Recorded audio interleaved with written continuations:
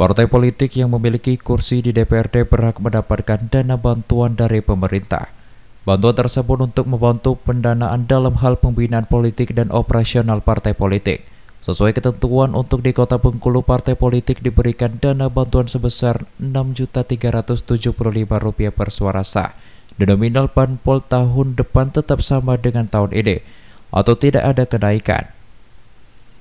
Sore ini total ada 11 partai politik yang memiliki kursi di DPRD Kota Bengkulu yakni Partai Amanat Nasional, Partai PKS, Nasdem, Gerindra, Golkar, PKB, Hanura, Demokrat, P3, Perindo, PDIP, dan perolehan kursi terbanyak dipegang Partai Amanat Nasional.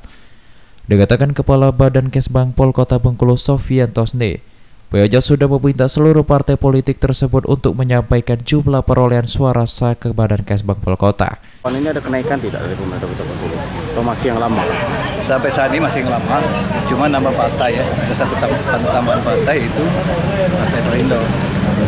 Nah berkenaan dengan kenaikan kita usulkan nanti. Ya. E, di mana kami minta setiap partai politik untuk dapat mengusulkan sesuai dengan yang jumlah suara mereka inginkan. Oh jumlah suaranya. Ya, ya. Berarti ada kenaikan nggak ya untuk persuaranya? Tetap sama seperti tahun-tahun sebelumnya. ya? Kalau hitungan kalian eh, pekalian masih Hmm. 6.000 sekian. Peri Dwi TV melaporkan.